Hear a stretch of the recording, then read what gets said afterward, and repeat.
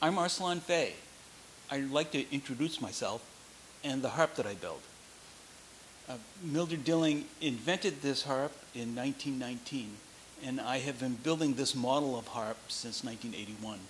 I've built 70 approximately. The harp has 33 strings, middle C, it goes from fifth octave C to first octave G. It stands 44 inches tall.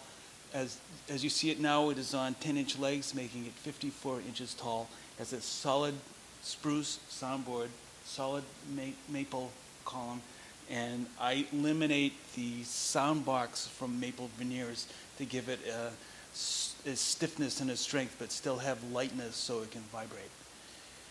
I will demonstrate the instrument as best I can, but please note I'm not demonstrating my abilities as a harpist, I'm demonstrating the abilities of the harp. This particular instrument has been my personal instrument for 10 years. I've refinished it, rebuilt the action, and is now for sale for $4,500, this being the end of August 2011. And I have a new instrument in progress, which will be done soon, which will be 6,250.